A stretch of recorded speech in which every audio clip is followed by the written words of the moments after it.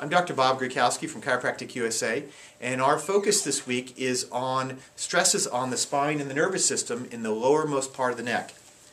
The lower part of the neck, these nerves go down into the arms and into the uppermost part of the back. A misalignment at this level of the spine, called a subluxation, blocks the energy to these areas. Many people have this condition from poor posture.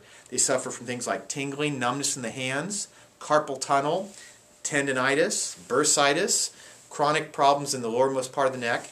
This can come about from poor posture, kinking your head over to one side, long hours on a computer slumped forward.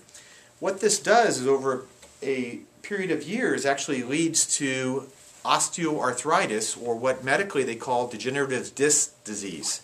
Now if you look, there are different phases of degeneration of the spine and nervous system.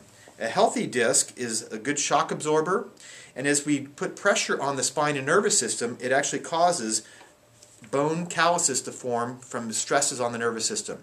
Restoring the proper alignment and curve of the neck can actually prevent these conditions from help from con, uh, continuing, but it also can reverse some of the effects by allowing the disc to become healthier and the spine to become healthier. Each week at our classes, we teach our patients how to stay healthy from the inside out. Our philosophy is to live a life um, of radiance from the inside out, of always getting better.